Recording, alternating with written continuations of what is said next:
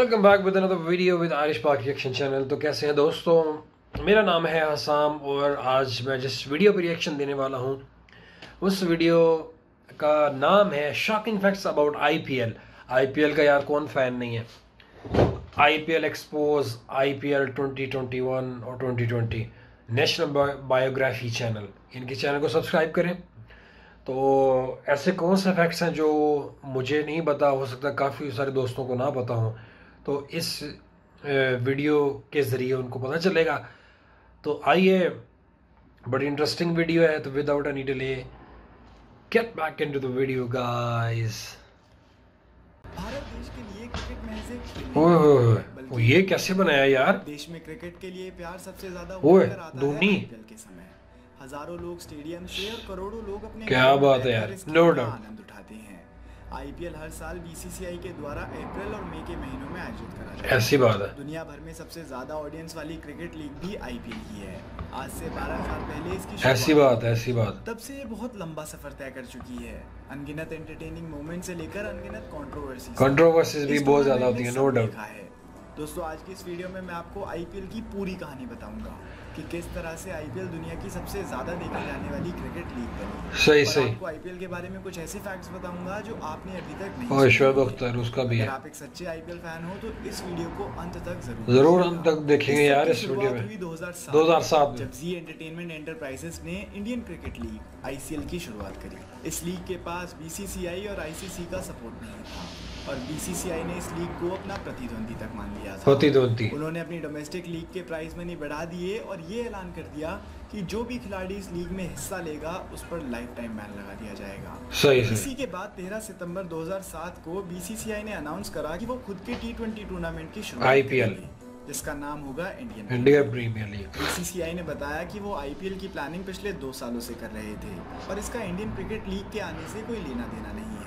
IPL के पीछे के मास्टरमाइंड थे बीसीसीआई के vice chairman Lalit Modi.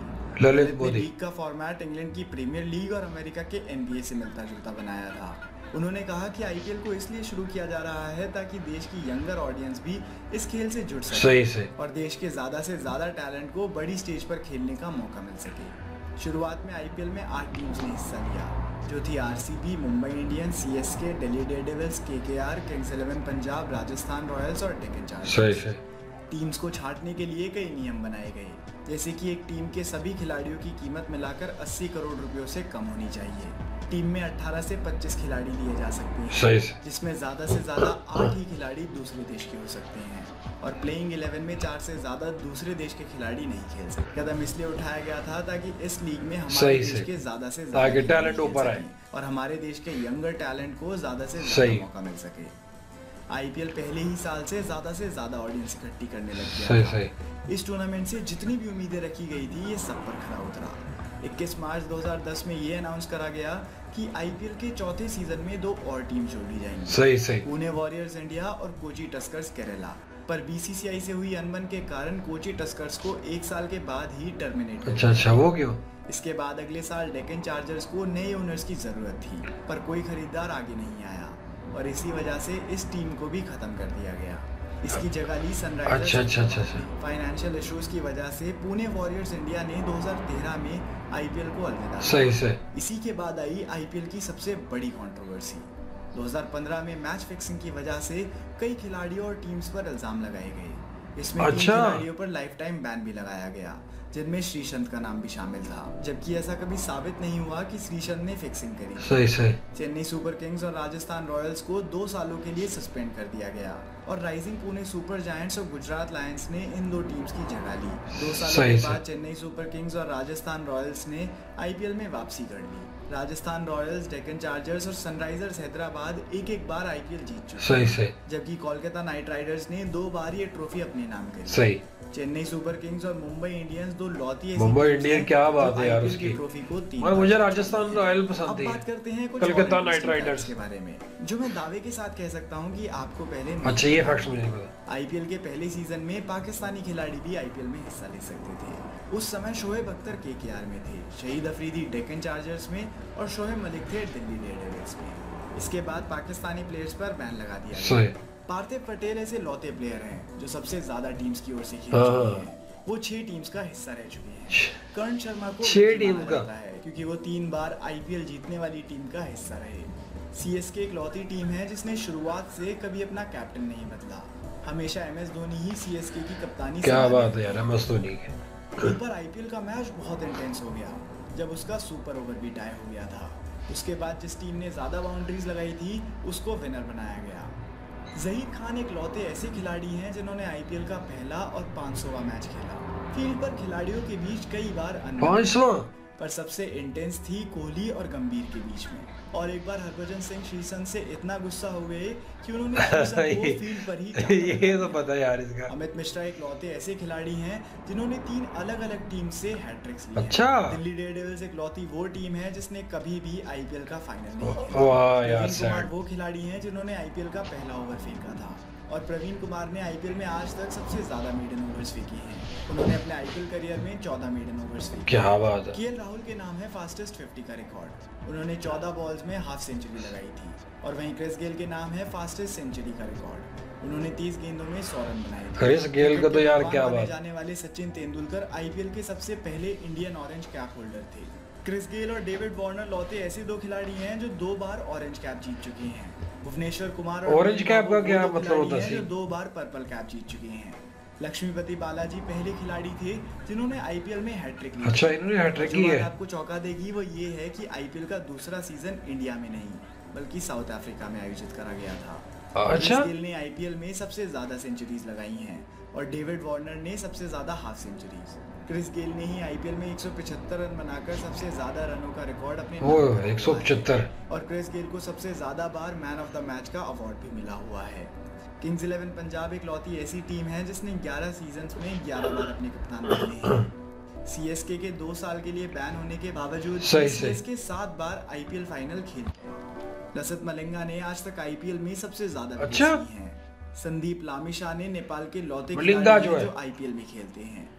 मंजूर दार जम्मू कश्मीर के वो लौते खिलाड़ी हैं जो आईपीएल में सही सही सही डिविलियर्स और पोलार्ड दूसरे देश के ऐसे खिलाड़ी हैं जिन्होंने एक ही टीम के लिए सौ से ज़्यादा मैचेस खेले पोलार्ड आईपीएल के इतिहास में कोलकाता नाइट यार, ये तो मेरा भी favorite है यार। के अलावा किसी भी खिलाड़ी ने कभी सेंचुरी नहीं लगाई नहीं लगाई?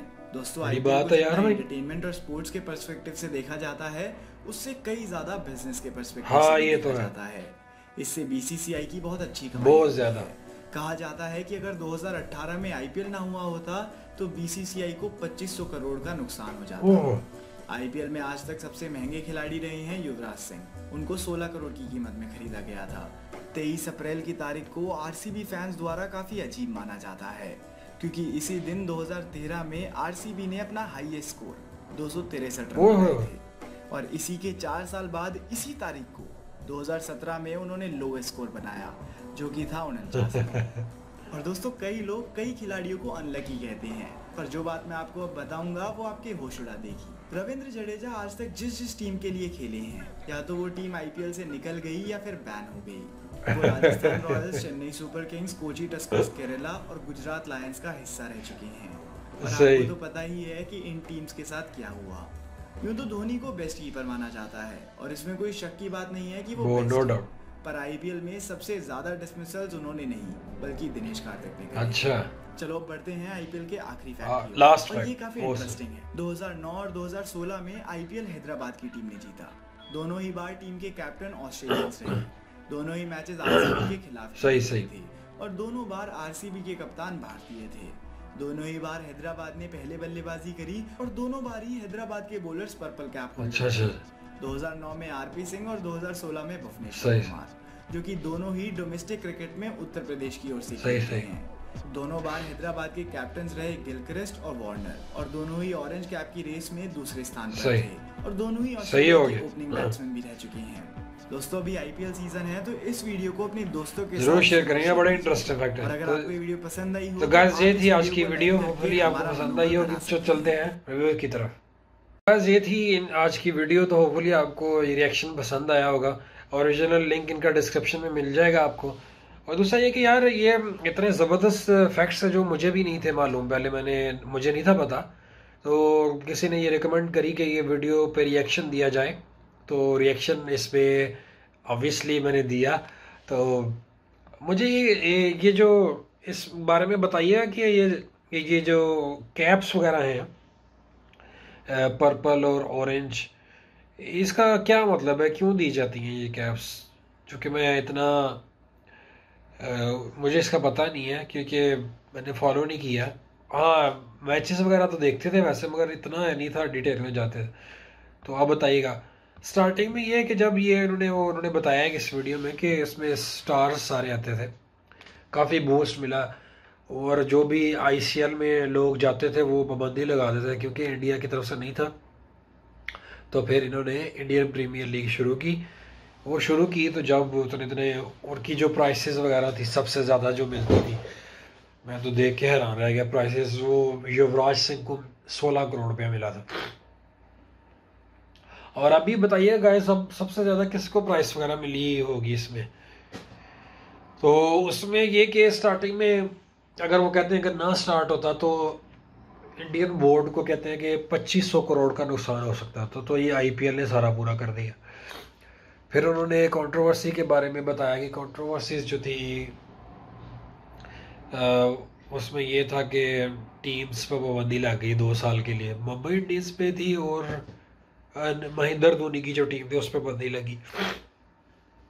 कोई इश्यू चल पड़ा था? तो इश्यू तो आपको पता ही है ऐसे चलते रहते हैं।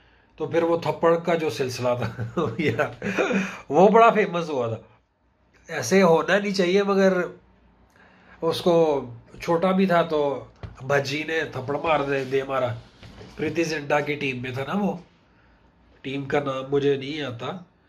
तो फिर उसके बाद इसमें पाकिस्तानी प्लेयर्स भी स्टार्ट खेलते थे। फिर बाद में पाबंदी लग गई वगैरह। तो फिर उसके बाद सिलसिला जो फिर इसमें बताया गया कि ओवरसीज से अगर आपने प्लेयर लेना हो तो वो भी इसमें बताया गया इतने प्लेयर्स आप ले सकते हैं।